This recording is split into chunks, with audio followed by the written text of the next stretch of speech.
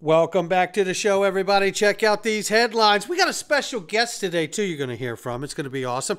LBRY. We got the New York DFS, the NYDFS. There's a step down change to policy. You need to know it. We got BlackRock in the news.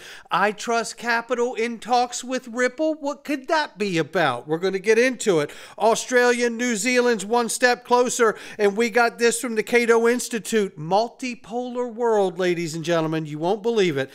HSBC, and a new retail CBDC pilot with Hong Kong. Does it equal XRP? Somebody roll that beautiful intro.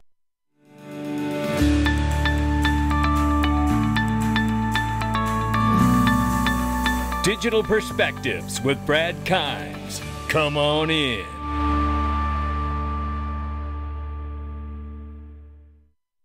Welcome back to the show, everybody. You can follow us on Twitter and YouTube for exclusive content. Right now, $1.09 trillion market cap for crypto. The market is up 0.2%. Careful what we call progress today, ladies and gentlemen.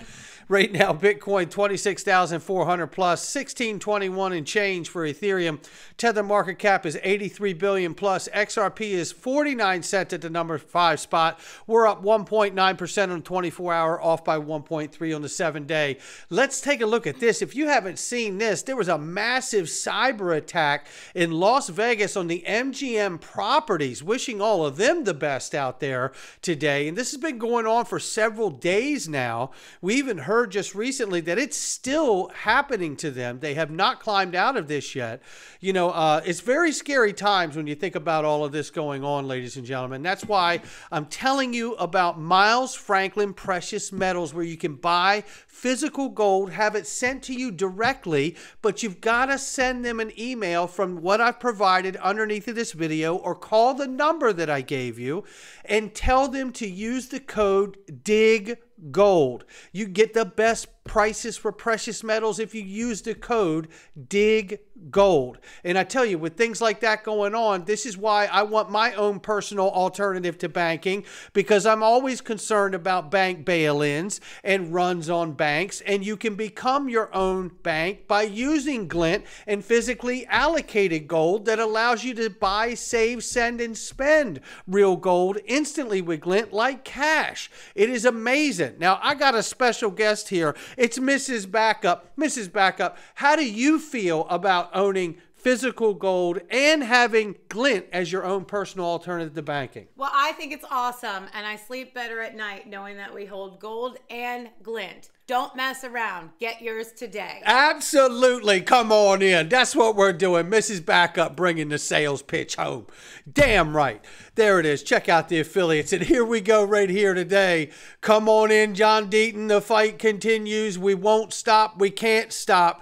It's the LBRY case now. They are appealing the decision that has been coveted so much by the SEC.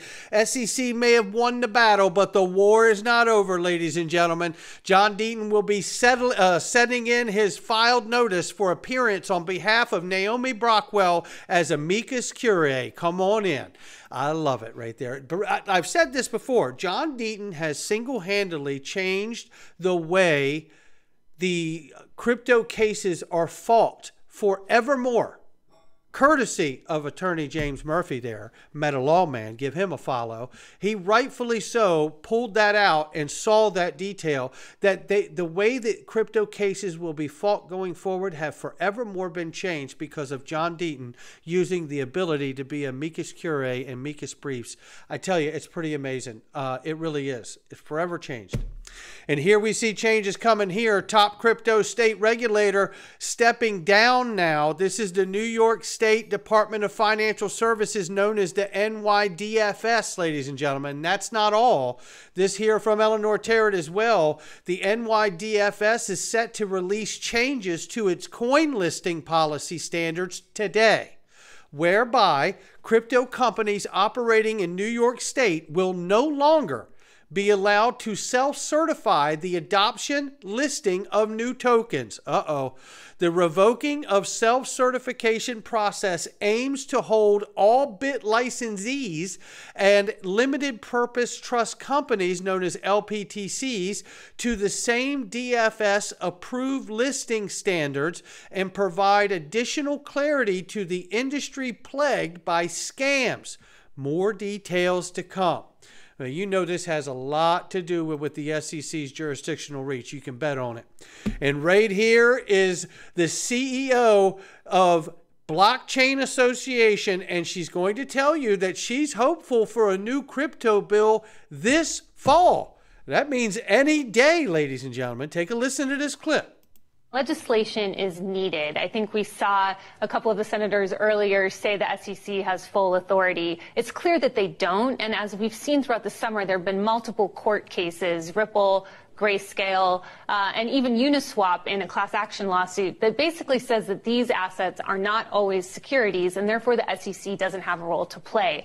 But we do want to have some regulation of the crypto markets. And in order to do so, like Senator Lummis said a couple days ago, is that you have to have legislation in place that puts that framework there. And so I think that the work that is going on in the House right now is incredibly important. Um, legislation isn't a process that happens overnight. It takes time.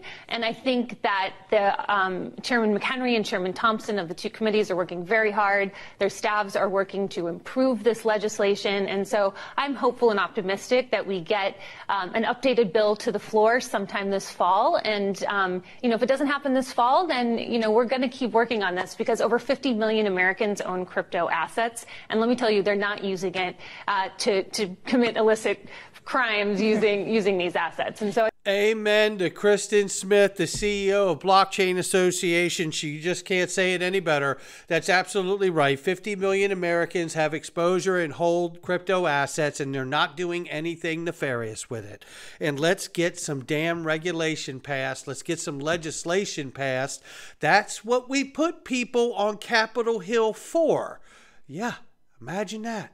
And then there's this BlackRock rumored this is incredible. BlackRock rumored to shift crypto focus from Bitcoin to XRP. Let's get into just a piece of this here. In the ever evolving cryptocurrency landscape, rumors suggest BlackRock, the world's largest asset manager with over 9 trillion in assets under management, may be reassessing its digital asset strategy. The financial giant is speculated to be considering a shift in focus from Bitcoin, the leading digital currency, to XRP, a digital asset primarily known for its payment protocol. Several factors are believed to be driving this speculated, uh, sh- speculated shift, including the changing regulatory environment surrounding cryptocurrencies, advancements in technology, and a possible intention to diversify their digital asset portfolio.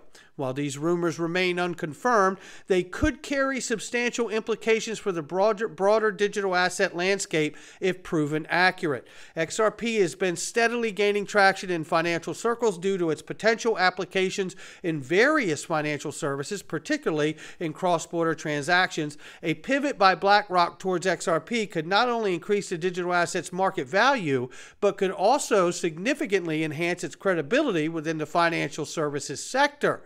There you have that. So we need to know more for it to actually be legitimate. But now let's also understand too that BlackRock has submitted an application for a spot Bitcoin ETF as well. So don't rule out that they would want to do both, right? I mean, these are the greediest people on the planet. Let's not do that. But I do want to remind people that Robbie Mitchnick, to lead the digital asset division for BlackRock was hired from Ripple. so there's a tie, and BlackRock absolutely knows what XRP's capability truly is. We'll keep watching. And talk about knowing what capable is here. What is capable? iTrust and Ripple talks. How about this? Check it out from Kevin Maloney from iTrust Capital. Take a listen. You know, we I've had some great conversations with with Ripple lately. Very sharp group, um, intellectual and financial capital, a lot of skin into the game. I think there's a lot of credibility in the marketplace. We we think there's good alignment with Ripple. We've had some. Uh, we we started this company uh, off of Ripple. We we rode the early crypto wave, and uh, when we started the platform in 19, we we were lucky on timing, and we built it off the Ripple com- uh, community. So 2021 was a really good time. The community, XRP community, is what put us on the map. There you go. And uh, you know, uh, some social media platforms like DAI helped as well. This is the early humble days, uh, but lately Ripple's been making some acquisitions in the space. I think it's a great move for them to pick up uh, Fortress Trust. I think it also says to the regulators, "Hey, we we take this seriously. We want to do the right thing. We want a qualified custodian." And as we know, the regulators want all institutions to hold digital assets through a qualified custodian. At some point, that may go down to the individual level. We think it's an excellent wrapper to have a qualified custodian uh, custody the assets for individuals. And that's something we do really well with Fortress Trust. And now we'll be doing that well with Ripple. So we're excited about that. A lot of alignment. A lot of good alignment. Take a listen to that. Fortress again. Trust. And now we'll be doing that well with Ripple. So we're excited about that. A lot of alignment. There you have it. A lot of alignment. I, I tell you something. This is amazing to me uh, just seeing all of this growth take place. And listen, shout out to Digital Asset Investor and myself. And that's where that XRP community support came from.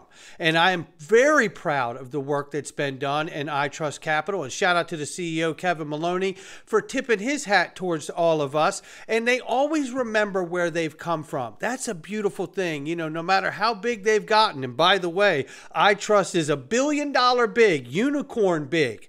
Okay? And if people are wondering what we do around here, we build companies and we help bring good people together with good audience members that are looking for great services. And that is a combination that will never, ever end. No doubt about it. Take a look at this. Xi, Jin, Xi Jinping is done with the established world order when he did not show up at the recent G20 summit here. Now, I'm showing you that because we know that there's been advancements around the world with BRICS coalition growing and expanding. Saudi Arabia is going to join in in January of 24, and Iran, United Arab Emirates, and, and a few other countries. It's going to continue to expand, but so is the CBDC pilot programs around the world. And this is what we're seeing here stable coins as well. Australia, New Zealand banking group is one step closer to launching its bank issued stablecoin after the bank successfully executed a test transaction on Chainlink's cross chain interoperability protocol. I wanted to let you know that. And let's take a look at this here. Shout out to Subjective Views, give them a follow.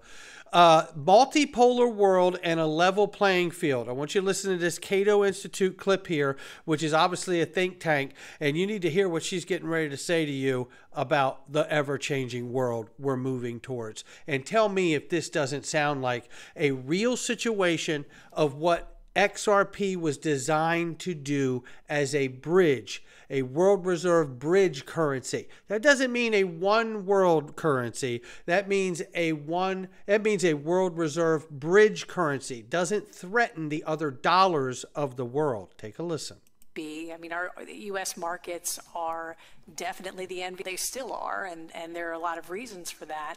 One is also the you know the the infrastructure that we've talked a little bit about too. That the U.S. and U.S. companies in public-private partnership and with a lot of private companies leading that globally are, are, the underlying infrastructure of the global economy. And so that is something that we, for uh, national security interests, for U.S. competitiveness interests, would not want to lose. The U.S. dollar being, again, you know, really the, the reserve currency of the world. Uh, already you hear all kinds of conversations in many corners of the globe, which I know happened in, in the history. It's, it's happened. It happened in the 70s. It's happened a lot of time period. Um, but generally speaking, the U.S. dollar was not challenged uh, in the way that people are talking about it now in mm-hmm. foreign capitals. And so those are issues that, that should concern us. And again, not just financial infrastructure, but the technology infrastructure and communications infrastructure of the world, like you know where the where the internet uh, was born and how it has evolved. So I think those those are things that we do need to have uh, first and foremost in our minds, and, and it is definitely a motivating factor for members of Congress, which is exciting, and the entrepreneurs. And the entrepreneurs as well, and the companies like Ripple and the digital assets like Stellar and XDC and XRP and HBAR. I mean, the list goes on, and Chainlink and Algo and Quant, right? I mean, you know, this is what we're talking about here a real effort is taking place, whether it's the BRICS coalition or whether it's other countries developing their own CBDCs, and with the intent of using their own dollars over the US dollar more and more and more.